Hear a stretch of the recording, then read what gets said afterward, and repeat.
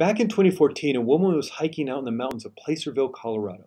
And she's having a great time until she realized she's being tracked by a mountain lion. Now, the cougar stalked her for about 20 minutes, often pouncing out in front of her on the trail.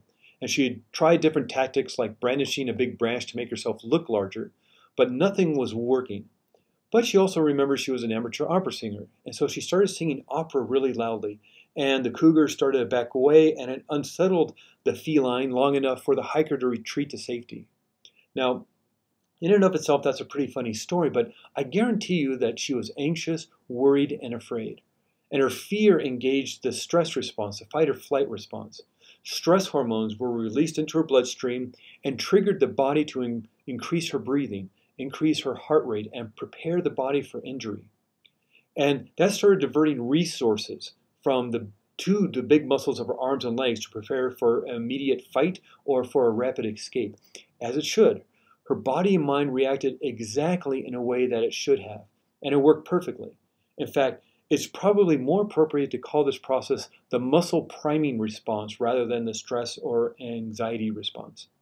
However, this muscle priming is less than helpful for dealing with the many challenges of life, such as managing your money or dealing with conflict at home or aging parents or long lines at the supermarket or you know the phone at work that won't stop ringing.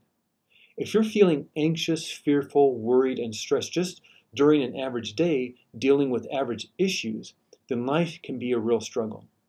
And if you're constantly worried about past or present difficulties or about things that might go wrong in the future then just like the hiker being stalked by the mountain lion, you're probably engaging the stress response, sending a biochemical soup of adrenaline, cortisol, and other stress hormones throughout your bloodstream in order to, to steep your muscles and organs in this fight or flight chemical response, which is not what it's meant for.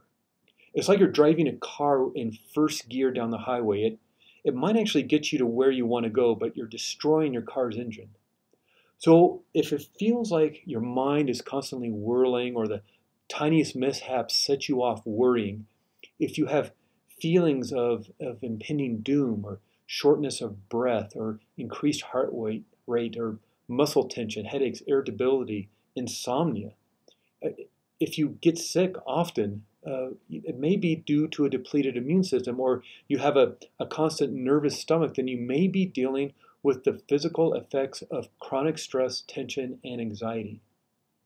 And you might know on a rational level that you're blowing things out of proportion, but on an emotional level, the experience of panic and dread can still be overwhelming as a stress response pulls power and energy from your logical prefrontal cortex and sends it back into the emotional limbic system. That why that's why people can't think clearly when they're stressed or angry and lash out or send that text to their boss because they're not thinking clearly. The subconscious mind works through automation.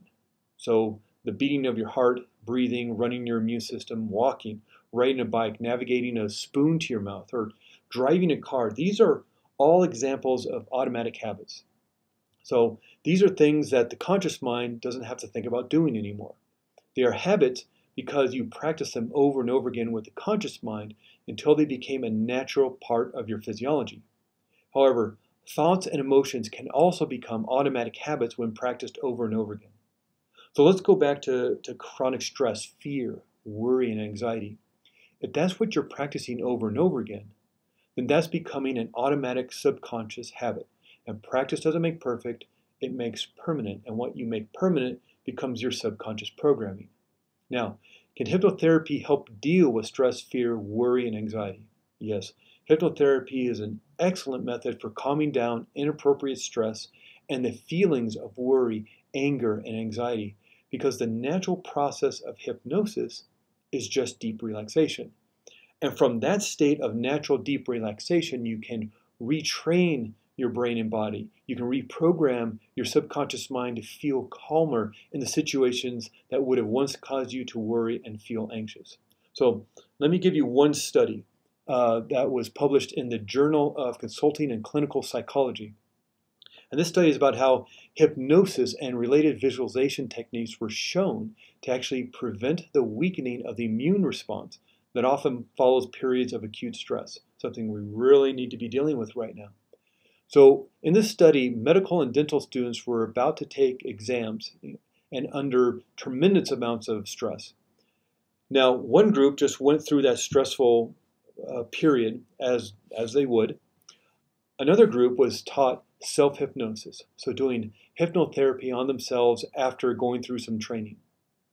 So, the one group, uh, subjects who did not use self hypnosis prior to the stressful event, they showed a 24% decrease in T cell count.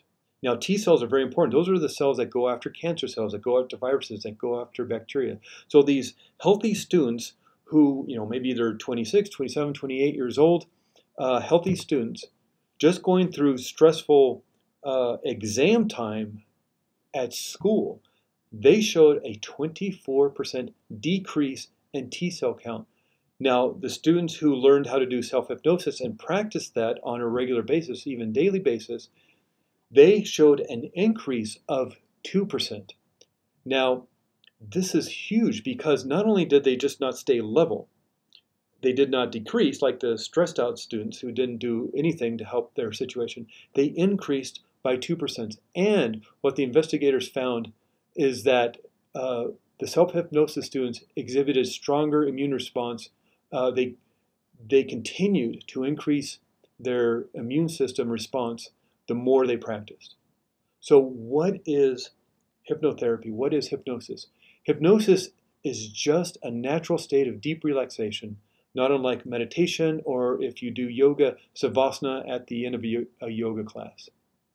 Hypnosis is simply a state of peaceful awareness, sometimes called a trance, that's achieved through guided relaxation.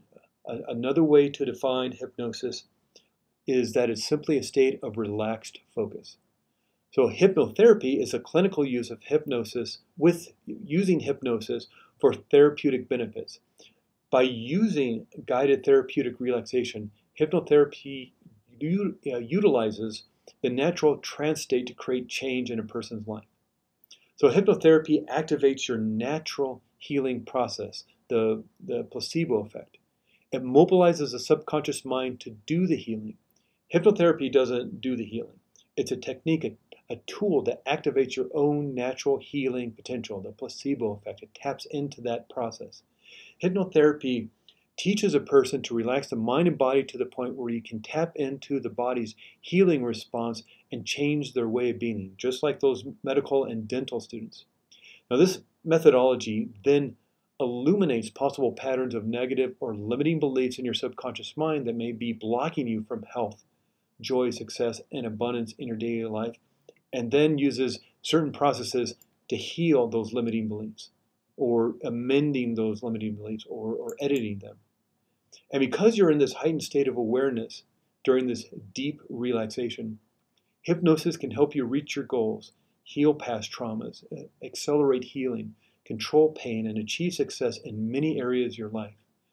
Another way to define this define this evidence-based uh, modality is that hypnosis is simply a natural state of relaxed focus.